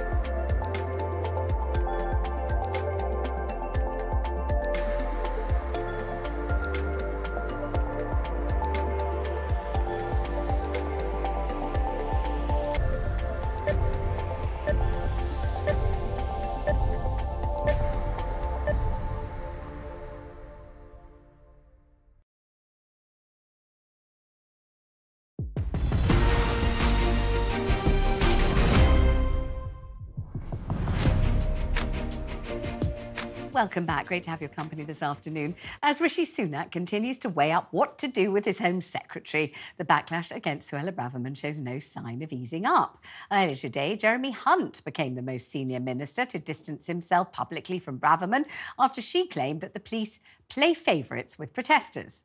The Prime Minister has said he has full confidence in her, and it's thought a decision on Suella Braverman's future is unlikely to be made before the pro Palestinian protest march and Armistice Day tomorrow. Joining me now in the studio, political commentator Jonathan Lis. Good to see you, Jonathan, and former advisor to Michael Gove, Charlie Rowley. So, this is quite a difficult one to unpick. Everyone thinks there's something going on, but nobody's quite sure what. I'll start with you, Charlie, because after all, you've been in, you know, right at the heart of what's been going on in government, so you know how these things work. So, what people don't seem to know, including me, I don't either, is is Suella Braverman angling to be sacked? Does she want to be? Is she is she doing this on purpose? B, if she is, why does she want to be? And C, if Rishi Sunak wants to sack her, why hasn't he? Just answer all three of those and we'll be absolutely fine. well, quite a yeah, cocktail of questions there. But look, I think look, Suella is very popular with the uh, uh, right wing base of the Tory party. You know, she is someone that is very vocal. She doesn't mince her words, and that is sometimes uh, uh, a question by other colleagues who want to take a bit more of a diplomatic approach. Mm. Um, and so I think there is a, uh, an, a power balance in terms of who uh, do we need to appeal to? Is it uh, to attract more Conservatives? How do you attract more Conservatives to support the Tories to get those polls back into a more normalised uh, setting? Is that being tougher in terms of language, or, or is it not? So I think Suella might say you need a, a Home Secretary, you need someone around the cabinet table to say it exactly as it is. Um, uh, but uh, we'll have to, to wait and see whether the Prime Minister requires the services. She might any say Conservatives. that, but does she want to be fired for saying it? She might think one should speak out. She might think so. But if she wants to be fired, why does she want to? Well, how will that advance her cause? Well, I think she might uh, uh, think that if she was to be sacked, um, uh, that would just endear more of her colleagues to her who- that are on the right because they'll feel that actually she's the only one that's had a voice around the table to, to represent their view of what Everyone wants to be a are. martyr, don't they? And so you know, it, it, it could be uh, it could be that. But then, Um, but then, but then, for what purpose, Jonathan Lis? That, that, that what? That she might then, should the Tories lose the election, which everyone is predicting they will, although we know that the polls sometimes are terribly wrong, and so anything could happen in any minute. We know that too. But if the Tories do lose, and it looks as if they might, or probably will, what does she want to be? Leader of the opposition? Is that what she's going Absolutely. for? Look, Ah. It's, it's incredibly transparent. I don't think that she is a genius strategist. She's been a lousy minister by even by the consensus on the on the Tory benches. She wants attention. That is why she is ramping up her rhetoric every single week. That's why she wants to be fired. Here's the, the most damning indictment you can say about her. She doesn't actually care if she stays in post or not because she thinks that she's won either way. If she stays in post, she carries on having power, which is an immense power as Home Secretary, and it should be an immense privilege, by the way, Mm. which she is certainly not considering it. We should to be. remember that she was sacked once, Charlie. Uh, she was, Yes, and uh, reinstated and- within how many days? Three or seven or something? And, and Rishi brought it back. I mean, I don't think Yeah. she would want to try and get herself sacked because we've also got the Rwanda judgment for the Supreme Court coming up next Wednesday. one now that would be something a huge success for her. So if she- it if it if it if it's Mm. the way it goes the way she wants it to, which it might not. One of the things that that's been suggested to me by those who purport to know, and who knows if they do or not, but is that Rishi Sunak will be waiting to see what happens with the Rwanda judgment before a firing her or b not firing her, Jonathan. Yes, but of course, this is Rishi Sunak all over. He is a ditherer. He's an incredibly indecisive politician, and with each thing that he does, he just shows up his incompetence and his weakness. Uh, you know, he, the Downing Street says. Uh, already said after this um, editorial on Wednesday um, that Braverman hadn't had it cleared by Number 10 or that Number 10 had requested additions that she hadn't made. Therefore, she has fallen foul of the Prime Minister's authority. Any Prime Minister, um, you, know, you know, worthy of the name and cognizant of their position and authority would have dispatched her immediately. But now he's just dragging this out for days, weighing up the information without any new facts coming to light. Obviously, there's going to be the Rwanda judgment, but it shouldn't make a material difference because the government line that Rwanda should go ahead. It's not Braverman's policy. It predates Braverman. Yes, as I Home know. It's Secretary. Priti Patel and Boris, isn't it? But I push back on that slightly because you've got to understand what's happening this weekend with pro- more protests coming to London, Yes. with remembrance services. There's clearly been tensions within the government between the Met, uh, Met Commissioner, uh, Sir Mark Rowley, Suella Braverman, and Number 10. Mhm. So I think it would be even more destabilising as, as, a situation if you were to lose your Home Secretary just a day before those marches and that remembrance service to take place. So to have confidence in the police, to allow those events to take place uh, as normal. Um, well, then to fire on Monday. I mean, her authorities dashed either way, surely. But uh, I just think, you know, you know, losing your Home Secretary a day before, 20 extra thousand police officers coming into central London to help police all of those events, I think wouldn't be a okay, good thing. Okay, talk to me about this balance of power or this... To help police all of those events, I think wouldn't be a good okay, thing. Okay, talk to me about this balance of power or this, you know, uh, paucity of friendship or whatever, lack of symbiosis between the government, I mean, the, the Prime Minister, the Home Secretary, and the, the Chief of Police or the Chief of the Met Police, because obviously what we want and what we think we're voting for is a kind of synergy between all three, so they're working in harmony for the greater good. But what the hell's going on at the moment? Yeah, no, that's a great question because you know the police are obviously operationally independent, and you know um, it is not for necessarily the Home Secretary, whatever your political persuasion, to come in and start dictating to the mm-hmm. police how you should be uh, policing events. Uh, it is for them to to, to do their job, what they're highly trained and skilled to do on the ground. But there clearly has been uh, frustration for a number of years over what protests police are maybe taking a tougher approach with versus others. Uh, we've seen a lot uh, on social media, some of the videos that have come out from those uh, pro-Palestinian protests. Uh, I understand those protests. Of course, people do. People, everybody wants peace in that particular region. Mm-hmm. But when you start hearing things and seeing things on social media, and the police not acting when there is clear hate speech and preach taking place in those protests, yes. then people will question why the police aren't intervening. I think that's what Suella is simply trying to articulate. And so, Jonathan, what are you seeing here in terms of balance of power, in terms of who, who wants to do what, and how this is appearing, and not only that, but how it might translate tomorrow when the march does take place? Well, here's a here's a really shocking thing, Vanessa and this should shock everybody, that I think that there is a strand of thinking within Braverman's team that actually wants there to be disorder so she can be vindicated. Um, she is such a divisive. Wow. She's Gosh, such, that's, it's, and it's not. I'm not the only person. And a I'm dangerous not, one. I'm not the only person saying it. Right. There are a lot of people speculating that she's ramping up the rhetoric. We've even seen today um, a group, I think, some footballers, some I can't remember what it's called, something footballers who put out a statement following Braverman's editorial saying they are going to come to London this weekend to peacefully deter.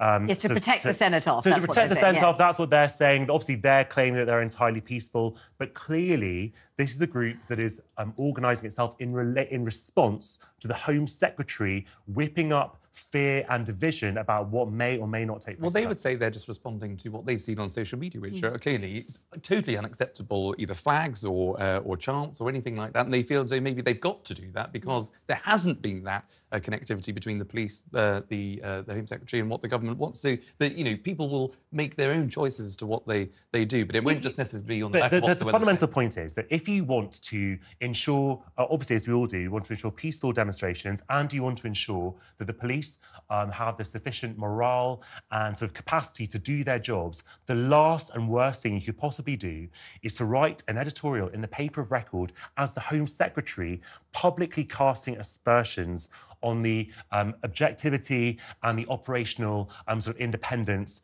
of the police. That is going to demoralise and discourage um, police officers who are sort of putting their, you know, their, their safety on the line in, in, many of these cases. Obviously, I'm a big critic of the police in many ways, but they do have an important job to do. It, is, it makes absolutely no sense. It is unprecedented for the Home Secretary to attack um, the police and impugn them in this way. It makes no sense to anybody. But I think you're, you're absolutely right. The men and women that put on those uniforms to protect us all are, are, are, are hugely you know, valuable. But I think there'll be other police officers that actually are saying, thank God that the Home Secretary is giving us the cover where we might not have had it before to now go and uh, arrest people where there's been too much bureaucracy, where there might be too much challenge over to whether you should approach someone because of something that they've said, and does that actually sort of stack up to, you know, is that hate, is it not? Or we've just got to get the CPS in to sort of qualify before we go in and arrest them. You know, the, the Home Secretary has given the police, who are going to be on the ground, complete cover now to go and arrest the well, people the police that never are have complete cover, Charlie, do they? The police always have to operate within the rules, and the police always have to balance out certain objectives about whether it's, you know, obviously if you, they see something that's objectionable, does it fall, uh, you know, above the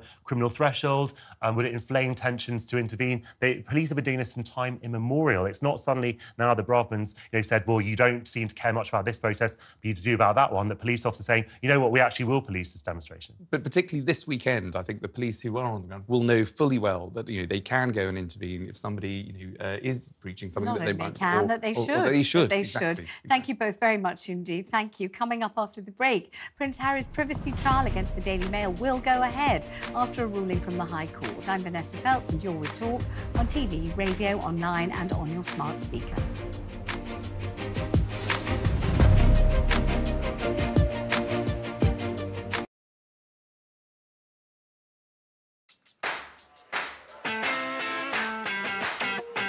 We're here. Good morning, everybody.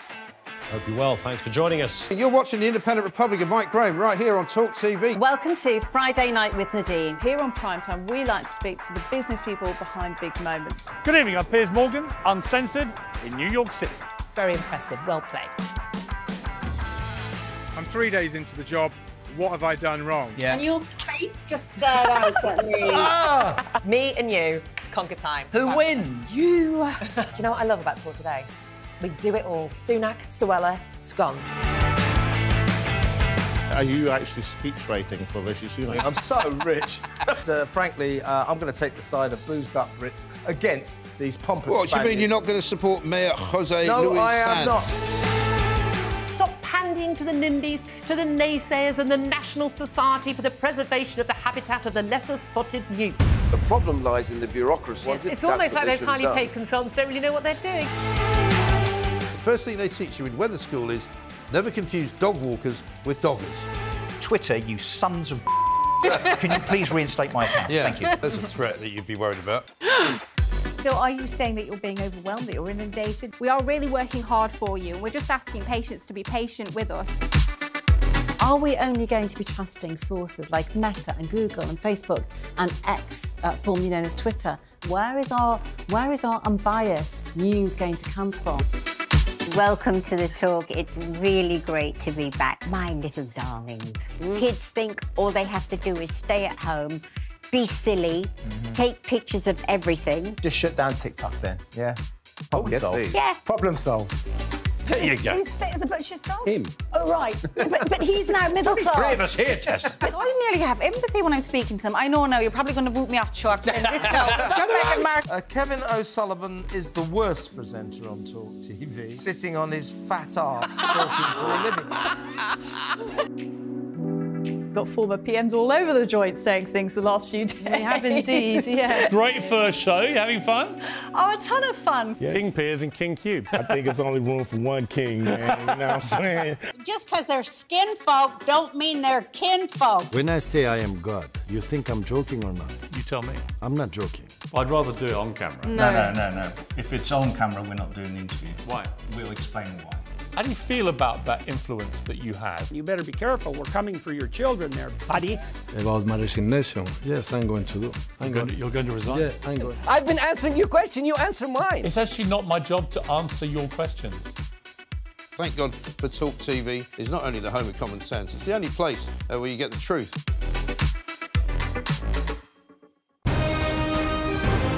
This is Talk TV.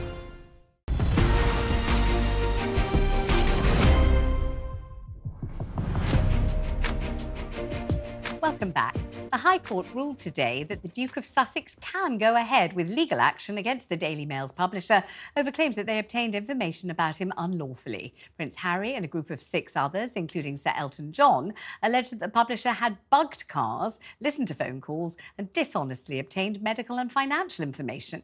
Associated newspapers, who deny all allegations, wanted the case to be thrown out, arguing the claims were brought in too late. But this ruling opens the way for a trial. Joining me to tell us more, Talk TV presenter and role commentator Afua Hagan. Good to see you, Afia. Lovely having you on the programme. So this is a turn up for the books for Prince Harry. It really is a turn up for the books, and not just for Prince Harry, for Sir Elton John, for Baroness Doreen Lawrence, and everybody else who is involved in this case. Now, we thought perhaps it would be thrown out because of uh, the claims by the newspaper group that they brought this case too late, uh, that it was out, out with the statute of limitations. And because they brought it uh, October 2022, uh, they said that it would have been too late for them to realize that phone hacking had taken place many years ago. And why didn't they bring the claim then? But the judge said that, you know, the case was dealt no hammer blow by the newspaper group saying that, and that they can bring this to court. And everybody involved in this is delighted. They said, We are delighted with today's decision, which allows our claims over serious criminal activity and gross breaches of privacy by the mail titles to proceed to trial. And that was a joint statement from um, from the claimants. And of course, we do have to say that associated newspapers have said that they've always made it unequivocally clear that they that these claims are simply preposterous, and we look forward to establishing this in court. They've always denied these claims. There certainly was a certain vagueness about Prince Harry when he was in court, a certain kind of, uh, I don't know, seemed to, seemed to have sort of failure to grapple with what this really meant and the idea of a burden of proof and evidence, and much more talk about the feeling that he felt rather than actual experiences when he either was reading these pieces in the paper about him or, as in, it seemed to be the case in many cases, hadn't read them at all and wasn't really even aware of them. Well, absolutely. All these cases are about evidence. What evidence do you have to prove your point? And that's what's going to be the crux of that case. And of course, this upcoming case, which will probably be in court next year. It's all about the evidence. How can you prove that phones were hacked? How can you prove that you illegally obtained information such as medical records. It's all going to be about how this group of people, like I said, which includes Prince Harry, Sir Elton John, and Baroness Doreen Lawrence, what evidence do they have from the various lawyers that they've employed? How can you prove that? And that body of evidence that they bring to court in this upcoming trial is going to be absolutely crucial because, like you said, it can't just be about the feelings that you know perhaps one of them or any of the claimants felt when they read a particular story about them how it felt to them they have to bring evidence that they can they can prove that their voicemails were hacked. They can prove that their bins were went through or anything else that was done to illegally obtain the information for those articles to go ahead Afua, thank you very much indeed for joining us. Coming up, Rumble in the Jungle. The full I'm a Celebrity lineup has been released. Find out who's heading down under. That is straight after the break. I'm Vanessa Feltz, and you're with Talk on TV, radio, online, and on your smart speaker.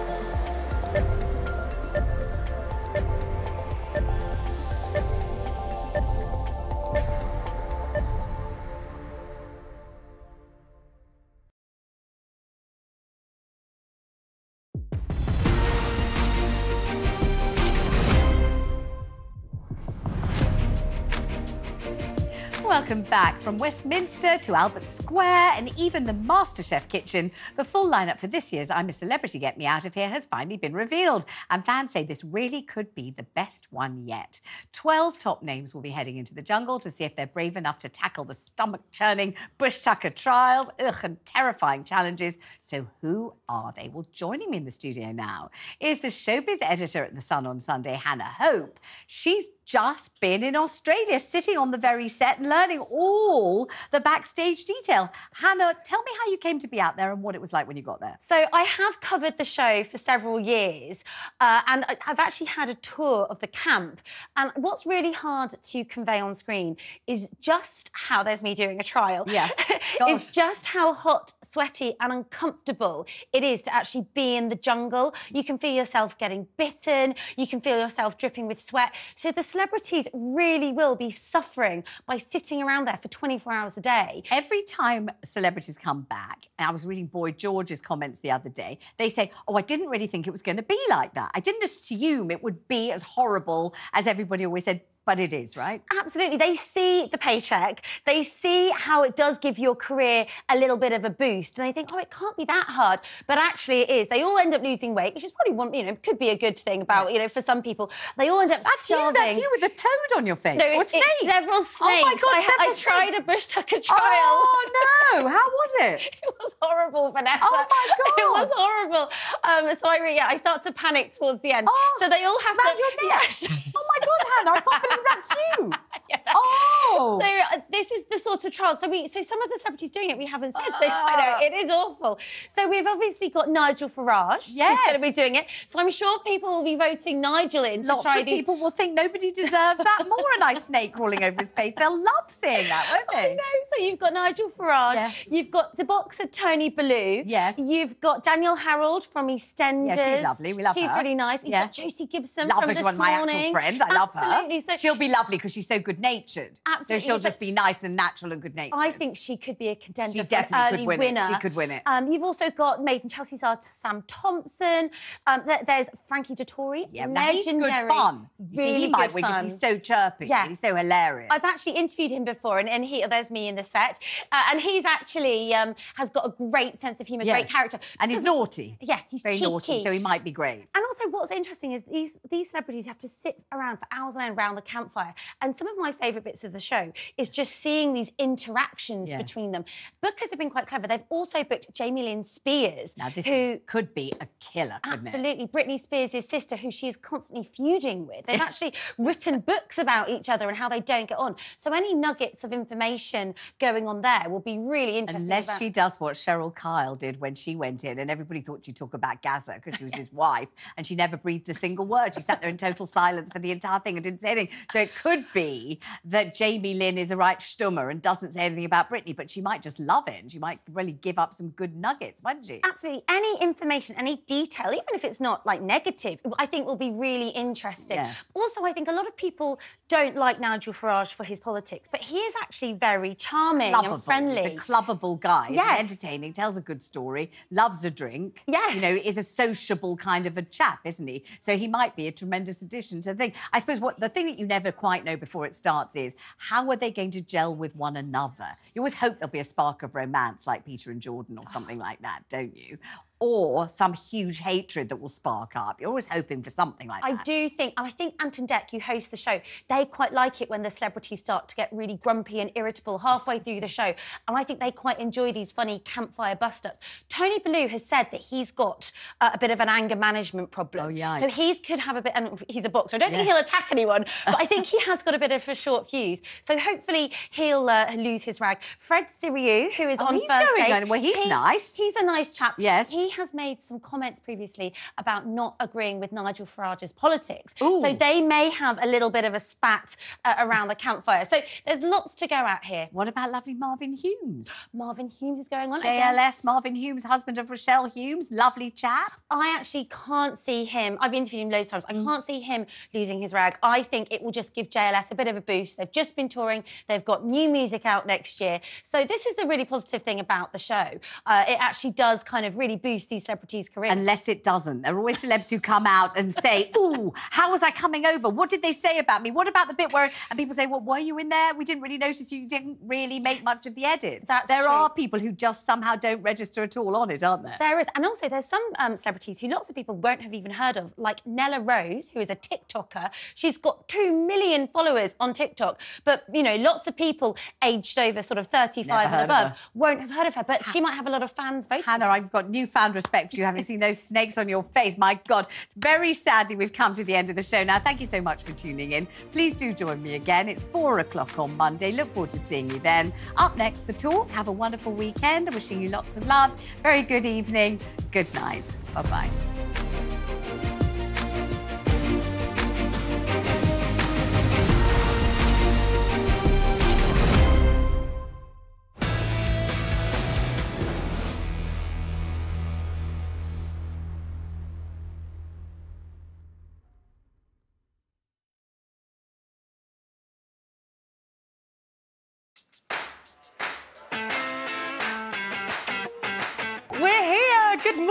Everybody.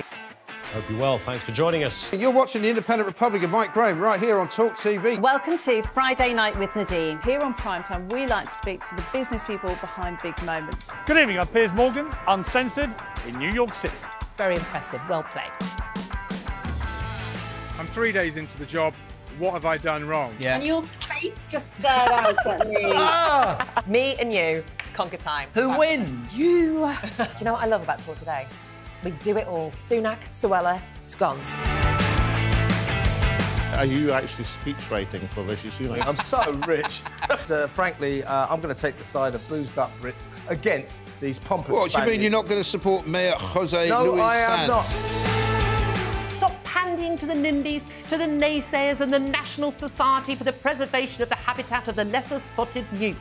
The problem lies in the bureaucracy. It's almost like those highly paid consultants don't really know what they're doing. The first thing they teach you in weather school is never confuse dog walkers with doggers. Twitter, you sons of. Can you please reinstate my account? Yeah, Thank you. There's a threat that you'd be worried about.